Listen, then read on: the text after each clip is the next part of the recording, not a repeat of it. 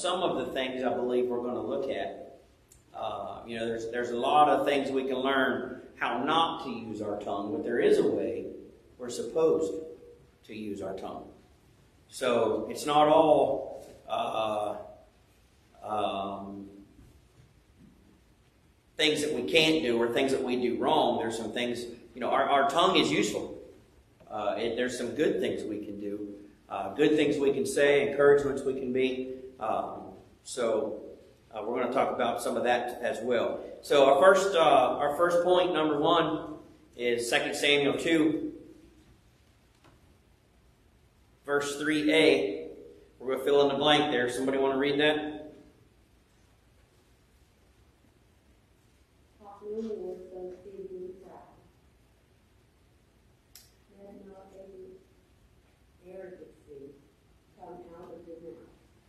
Talk no more exceeding proudly. Let not arrogancy come out of your mouth. And again, that's not necessarily uh, a list of words we're not supposed to use per se, but an attitude that we should not have. Does that make sense? Um, there are words and phrases that make us look arrogant and proud, but there are, we could say the nicest of words in the wrong way at the wrong time and be speaking proudly uh, or arrogant. And those are some things we're not supposed to do. Now we're going to switch over to the book of Psalms, uh, chapter 19 and verse 14.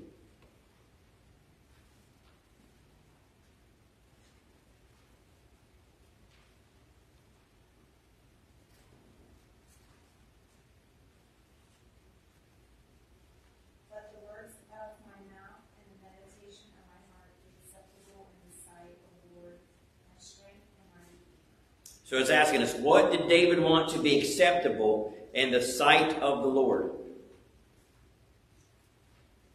He said the words of his mouth, right? What else? Meditation of his heart. That's right. What is the meditation of our heart? What's another word we can call that, you think? Our thought life, maybe? The meditations of our heart, wouldn't that be our thought life? Hey, listen, God cares about us so much, He even cares about our thought life. Why, uh, time after time in the Bible, in different places, why do we see so much attention brought to our thought life? You have any thoughts on that tonight? Why? What would, what would be so important about our thought life? It's just thoughts, right? Nobody can see them. Nobody can hear them. Nobody knows what they are. What's the big deal? What's, what's the big deal about our thought life? He does. God understands. But what else? That's exactly right. Our thoughts can become actions. And if we let our, our heart be filled with impure thoughts, it will affect the way we act. So he didn't just want the words of his mouth to be acceptable. Do we not live in a generation or a time, uh, in, uh, a dot in time in history that uh, folks seem to be more concerned with the words of their mouth than their actions and their attitudes. Uh, and I'm not, we're not making this any at all political tonight, but look at the political realm. They say all kinds of things. But how much of it actually turns into actions or is truthful or, or, or comes about uh, the way they said it would? There's just not a whole lot. And that's just not a particular side. That's most politicians. That's why if someone says you talk like a politician, it's really not a compliment. So uh, the words of our mouth, when, when, when the world watches us, which one do you think they notice the most though? Our actions or our words? Our actions, right? Our neighbors know uh, when they're doing something wrong. Maybe let's let's say that our neighbors uh, like to have um, maybe big parties in the summertime where there's loud music and, and lots of alcohol and all kinds of things like that. And I'm not saying you know any certain things in particular, but if we were to go, that neighbor were to come to us and they to say, hey, why don't you come on over to my party? And our answer is, I don't do things like that.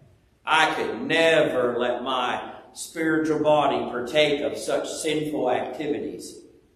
And then Sunday rolls around and they see us mowing our lawn instead of going to church. What does our neighbors think? Hey, wait a minute. You didn't want to come over here to a party. You didn't have to drink. You didn't have to do anything. But you wouldn't even come over. But it's no big deal to miss church. Or they see us, hear us say things we shouldn't. Uh, maybe if somebody cuts us off in traffic, or they come, they happen to come to our house and we're watching a TV or a movie that's full of uh, uh, uh, filth. They see more than they hear, if that makes any sense to us. Uh, and that's why uh, the study that we're doing, these 12 lessons on biblical integrity, are so important.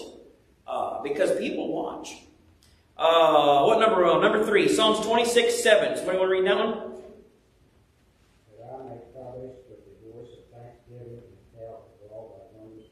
All right, so we're filling blanks here. That I may publish with the voice of thanksgiving and tell of all thy wondrous works. Man, think about that for a minute.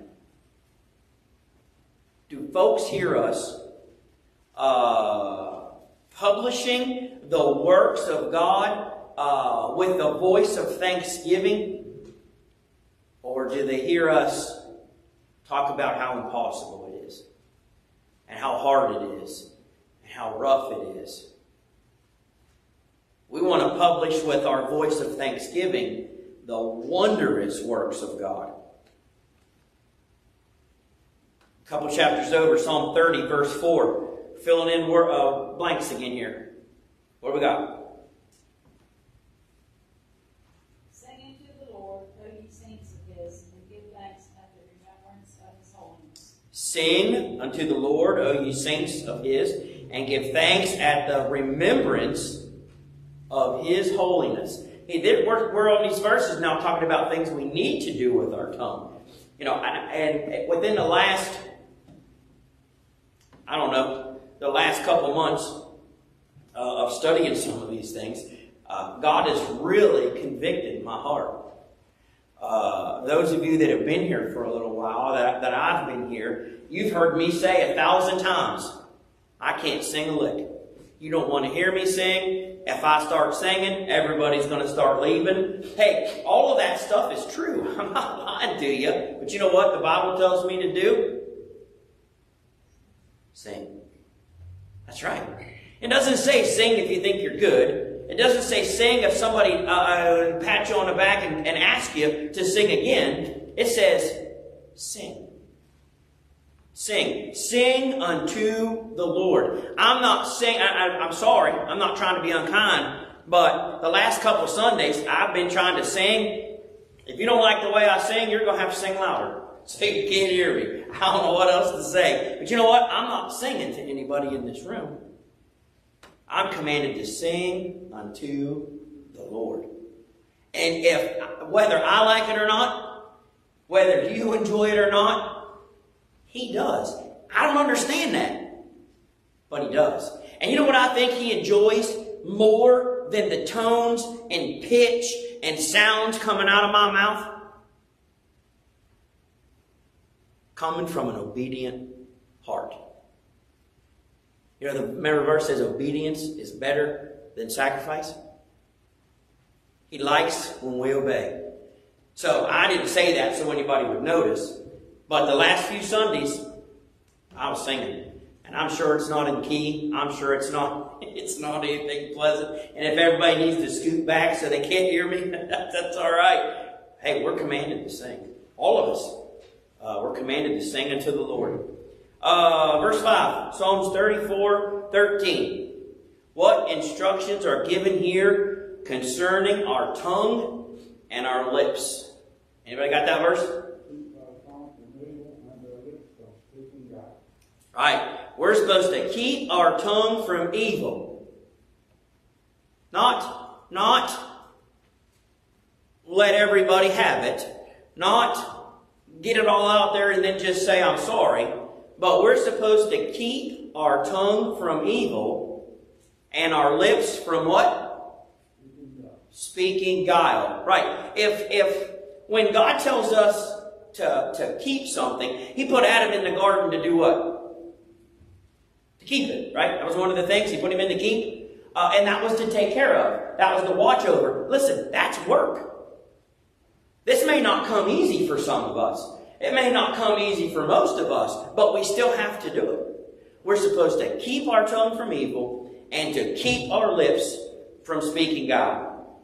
Number six, uh, a couple chapters over, verse 37, or chapter 37, verse 30, the first half. What does the mouth of the righteous speak? It is wisdom, that's right. Not, not arrogance, not ignorance, not blasphemy, not uh, uh, uh, whatever whatever word we're going to put in there, but it's wisdom. What is wisdom?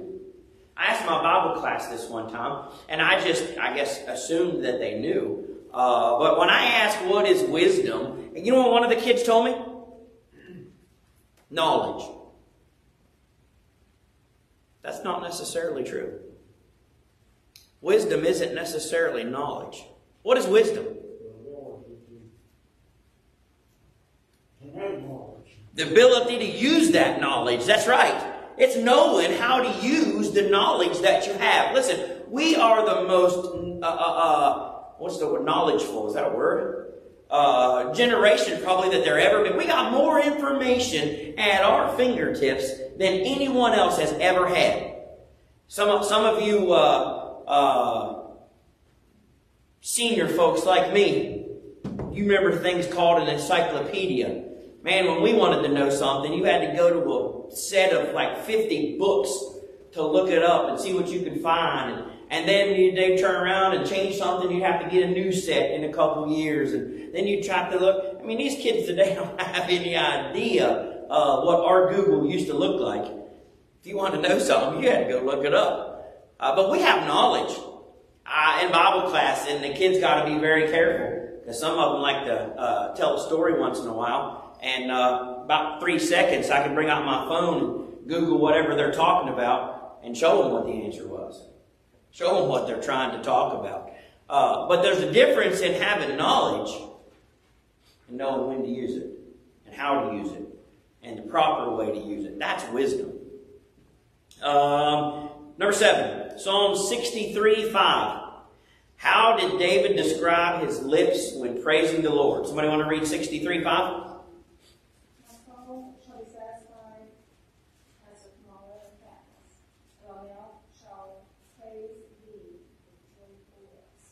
What kind of lips did he say? Joyful. That's right. Let me ask you this, and I may have asked this, we may have talked about this in the past a little bit too. What's the difference between joy and happiness? Is there a difference between joy and happiness? Happiness is what is happening at the time. Joy comes within. In other words, Christ, he, when he was crucified, the joy of knowing what's coming forth. Yes. Happiness comes from a happening. I'm happy because Amy's baking a cake. She's really not. She's home with a terrible headache. I wish she was baking a cake, but she's not. Not her. It's uh, she gets migraines once in a while. It's not because she has anything, but she gets migraines once in a while. Um, and right now, I would say she's not happy, but I would say that Amy has joy. She knows everything's going to be okay. She knows her joy comes from the Lord. She knows uh, uh, who is taking care of her and who is seeing her through. And listen, even in death, we can have joy. It's not necessarily easy all the time, but we can have joy. Why? Because Jesus gives us joy. We can't we can't muster it up. We can't uh, hope for it. It comes from my joy comes from the Lord. So there's a difference in joy and happiness. So we need to have joyful uh, lips. Psalms 141 3, number 8. What do we got? We're filling in blanks here.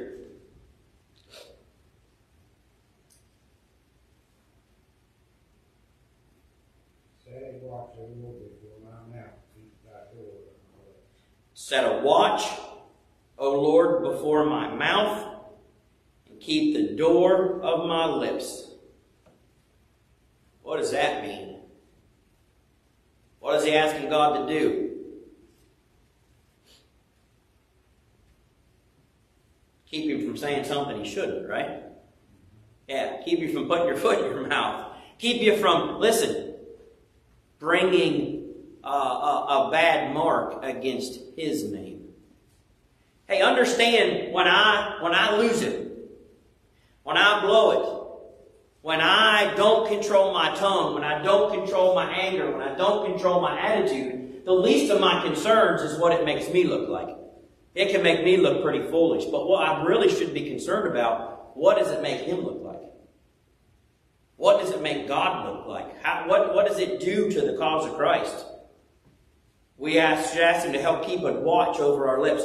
Proverbs 4.24. What are believers instructed to put away? Who wants to read 424? Put away from thee the froward mouth, and preserve lips put forth from thee. What are we supposed to put away? A froward mouth? Yep. What else? Perverse lips.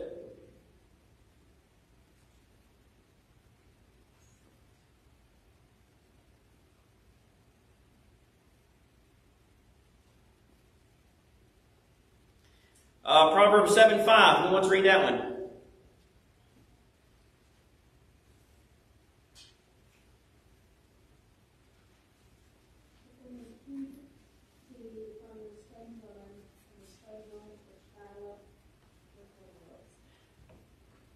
So, who uses their tongue for flattery?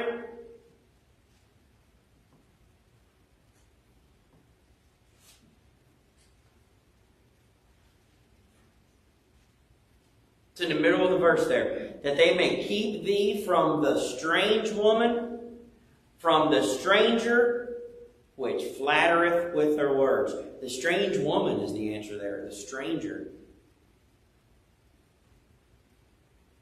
Anytime the Bible talks about the strange woman, is that a good connotation for someone to have?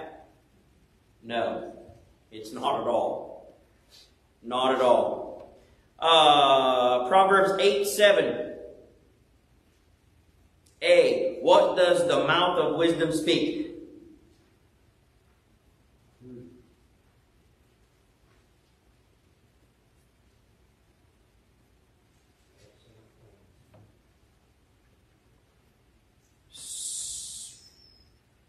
Proverbs 8 7. For my mouth shall speak truth. Right. The truth. The whole truth. Nothing but the truth. 7b. What is an abomination to lips of wisdom?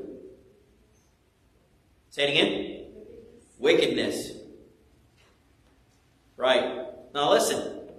So when we hear that word wickedness, sometimes we think of the worst of the worst. Are you with me? You understand that wickedness is anything that's not godly. I don't have to be using the worst profanity in the world for my lips to be speaking wickedness. If I speak anything that goes against God, it's wickedness. Hey, listen, when a teacher stands up from a class and tells the kids, hey, you came from a monkey, she's speaking wicked, or he's speaking wickedness. It's opposite of what God tells us. When, when uh, uh, a, a, teacher or, or uh, somebody tells a little white lie, there is no such thing. But what folks would call a little white lie, they're actually speaking wickedness because it's against God uh, Proverbs 8, 8, the next verse. Fill in blanks. All the words of my mouth are in righteousness.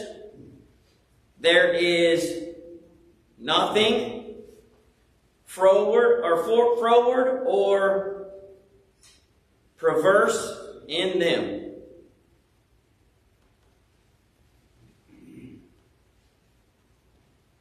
Proverbs 10, roll number 14. Proverbs 10, 11.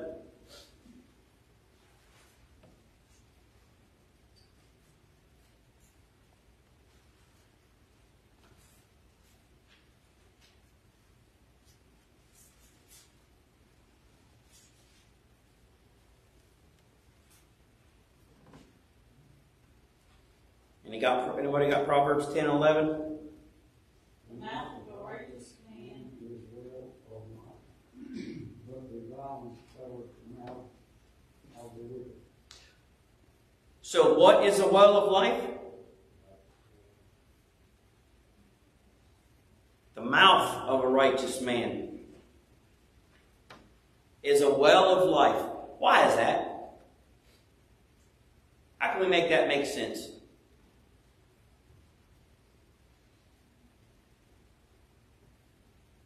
If he's a righteous man, he's going to be speaking things that help people, that edify people, that maybe correct people, but in the right way. It's a well of life. Have you ever been in a conversation or a, a, confrontation or an altercation with someone, and by the end of it, man, you just felt like you were dead? You felt like you had been whipped, beat, kicked, you just felt horrible. Have you, is it just me, or has anyone ever else been in a conversation with somebody like that? That whatever that conversation was did not come uh, from the uh, mouth of a righteous man. There's no well of life in that. But you know what? I've been in conversations. I've been in uh, uh talking with someone, and they corrected me. They told me what I did wrong. They did it in love. And you know what? Even when it was over, I felt alive. I felt like, man, I, well, I fixed this. This is going to be right. I, I didn't really see that my error of my way. Uh, and it helps someone. It's all in the way we do it. It really is. It really is.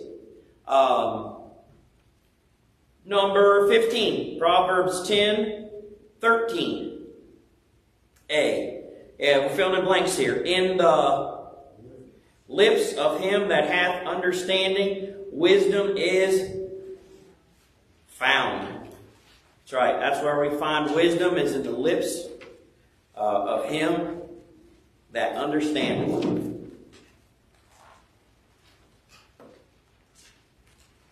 Then we're going to drop down to verse 32.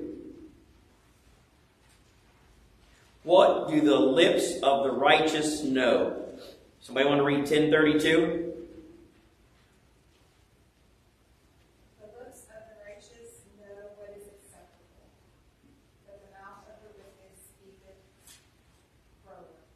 Yes, so what do the lips of the righteous know? What's acceptable. That's right.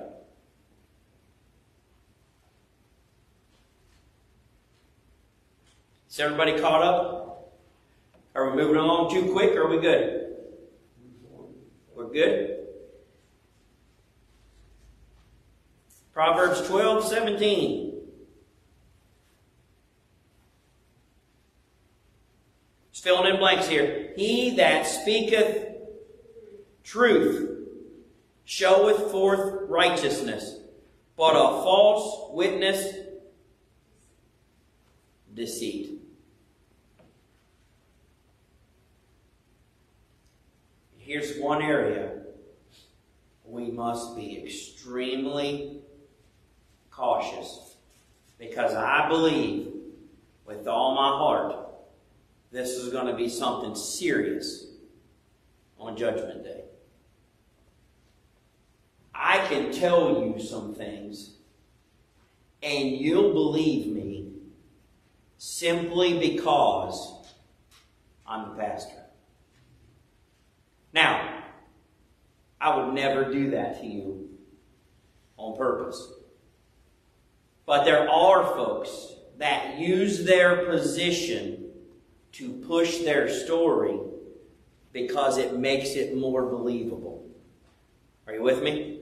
If you are a boss or supervisor or uh, even a parent and you think you know what happened, when you tell that story to another supervisor or to a grandparent or to another authority figure, is that person going to believe you or the child or the subordinate? Which one are they going to believe almost automatically? The parent or the supervisor, the person in authority. Why? Because they're in that position. You, see what I mean? So if I use my position to uh, get you to believe my story, that is that is nothing but deceit. And I believe, you know, that's on the, the, the seven things that God hates. That would be under a false witness that speaketh lies. That would be under uh, feet that are swift to mischief. That would be under uh, uh, uh sowing discord among the brethren. It's breaking multiple of the of the of the rules or of the sins that God hates.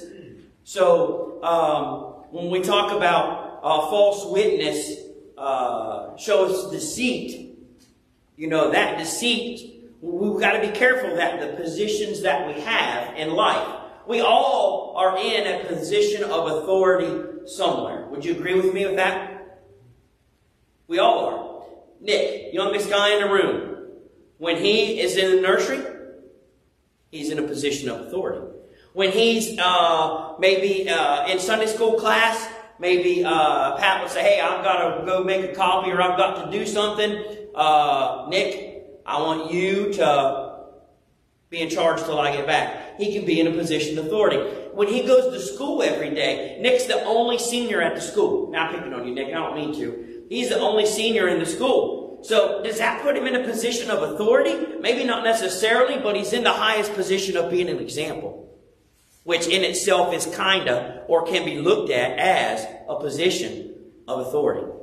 One of the kids at school could come up to Nick and say, "Hey Nick, uh, uh, help me out with this," and Nick has the opportunity to help them uh, or to take advantage of that situation and uh, either play a prank or mess with that person or intentionally tell them something wrong. You say that doesn't happen. It happens all the time. All the time.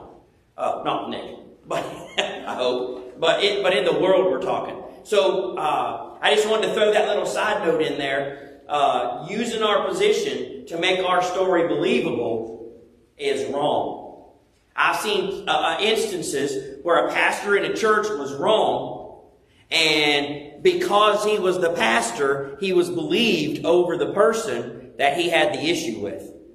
And we got to be careful of that. That's deceitful. Um, Number 18. We're on Proverbs 16 and verse 24. Somebody want to read that?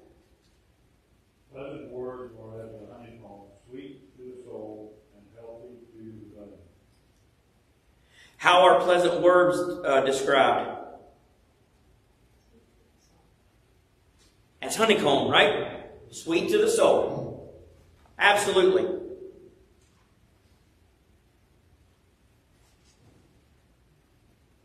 I'm sure if we if we were to think, we all probably have that person that comes to mind that they're just the sweetest person. Whatever they say is usually nice. Uh, um, what uh, you know their their thoughts, the things they talk about, they're not talking about other people, and it's just refreshing and a joy to be around somebody like that. Um, Proverbs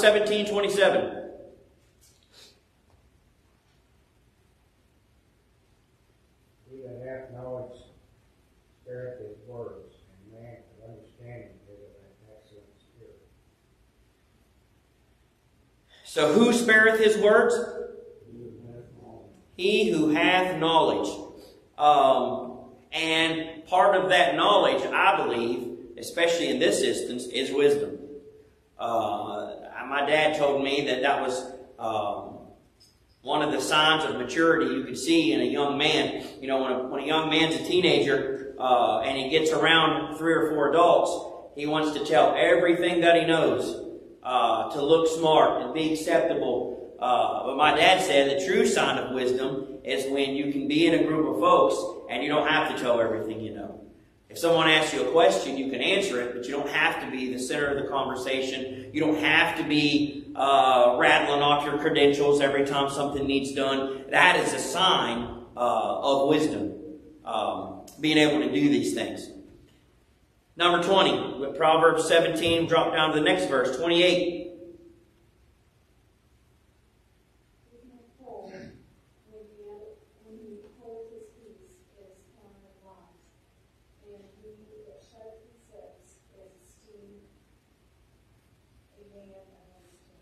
So who is counted wise when he holds his peace? A fool. Right. Even a fool is wise when he learns to hold his peace.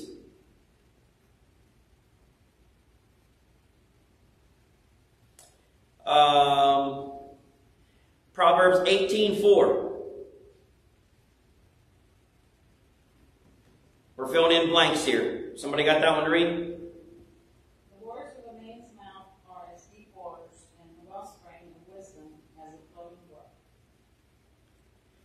The words of a man's mouth are as deep waters, and the wellspring of wisdom a flowing brook.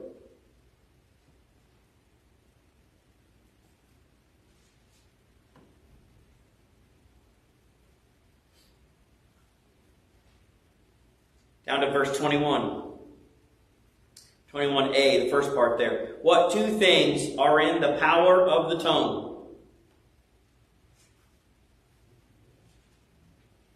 What is it?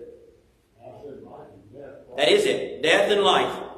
That's exactly right. verse says, Death and life are in the power of the tongue, and they that love it shall eat the fruit thereof. Hey, listen, you have the power every single day with every single person you come in contact with to be death or life. Simply by how you use your tongue.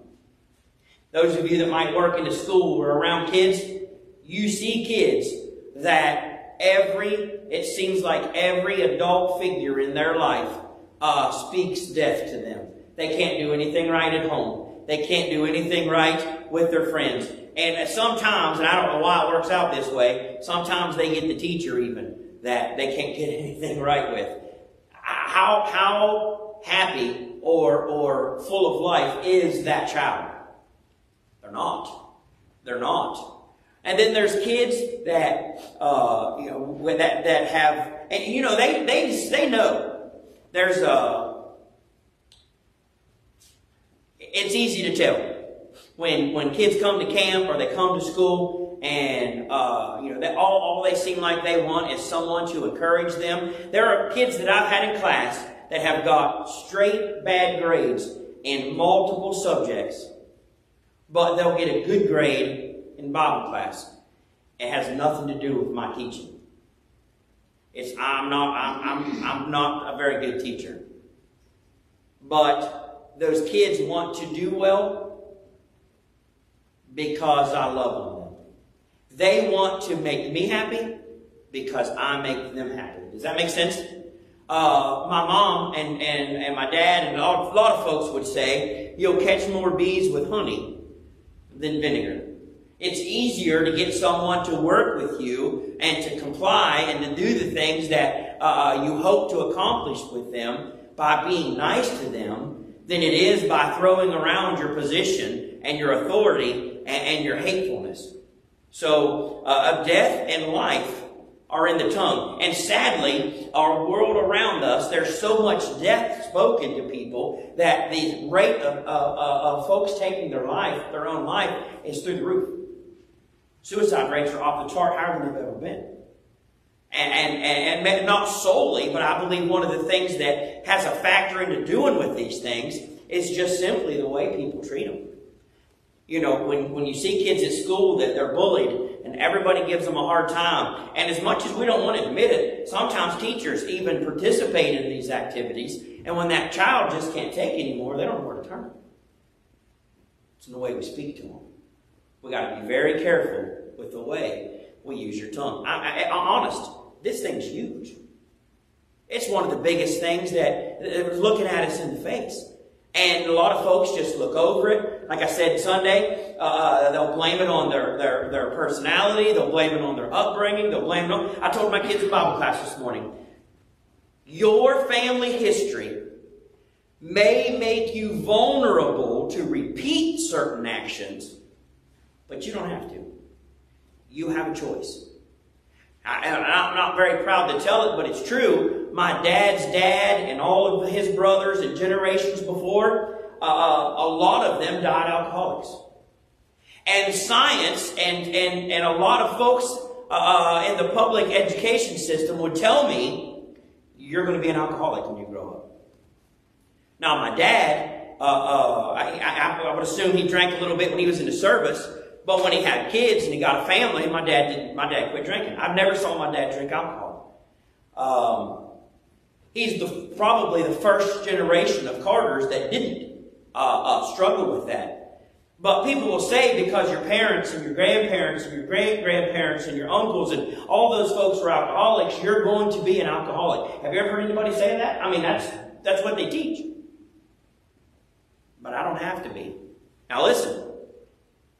If I pick up a drink of alcohol and I drink it, I very possibly could be hooked at the very first drink.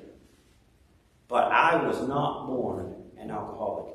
I may be more susceptible. It may be harder for me to say no, but I've never touched it. I've never tasted it. Thank God. He's helped me to be able to say no to that. And I am not an alcoholic, even though some folks in my family past may have been.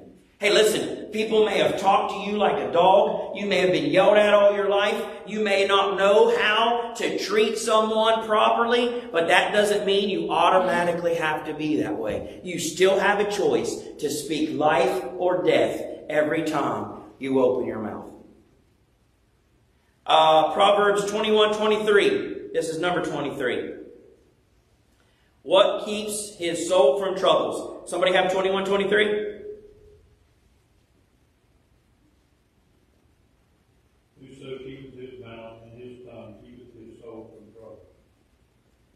So, who keeps his soul from uh, troubles? That's right. He who keeps his mouth and tongue. How many times do you find yourself in a sticky situation simply because of something that you said? If I just didn't say this, I wouldn't be in this situation. We, can, we have the ability to keep our, tro- our soul from trouble if we learn to keep uh, our mouth and our tongue.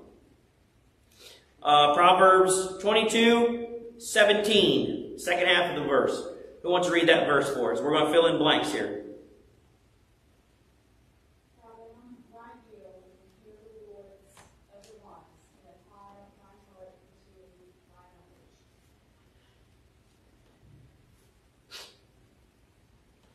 Hear the words of the wise and apply thine heart unto knowledge. There's two steps here. Hear the wise, but then you have to do something with it. You have to apply your heart to knowledge. And the last one, number 25, Proverbs 25 11. Somebody want to read that one?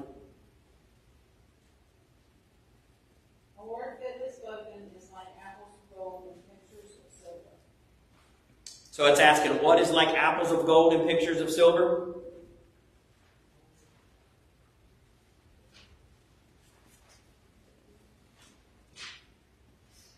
A word fitly spoken, right? What does that mean? That's the kind of funny way to say it. A word fitly spoken. What does that mean?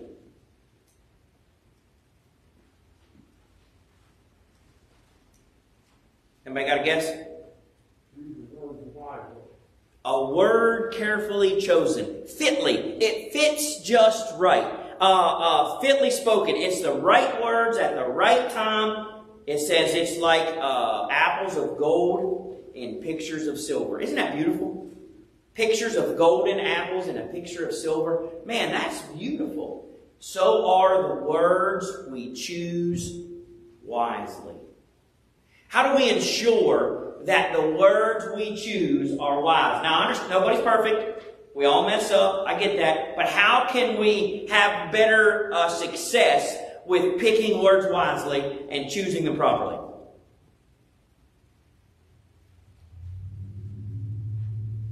What do you think?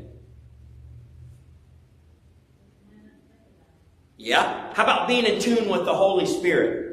Let Him guide, like the verses before said, set a watch over my uh, uh, uh, uh, mouth and a gate over my tongue. Be in tune with the Holy Spirit. Now, how do we do that? How do we get more in tune with the Holy Spirit? Through prayer and through a relationship with Jesus Christ. Hey, listen, if we haven't cracked our Bible open since Sunday, Thursday, uh, we didn't go to church on Wednesday either. By Thursday or Friday, our word choices are probably not the best. Why is that? Because we've had no relationship with Christ or the Holy Spirit the whole time. We're not in tune with Him. He's not revealing anything to us. He's not helping us pick and choose our words wisely. And we're pretty much on our own. Now, I understand God says He'll never leave us and forsake us. I'm not talking about that. God doesn't leave us. But there are times we can be more in tune with the Holy Spirit. We can grieve Him or we can listen and obey Him. And the way we do that is by having a relationship. Reading our Bible, spending time in prayer, having a relationship with Jesus Christ. Does anybody have any questions? We're going to go ahead and end our live uh, portion. Thanks, folks, for joining.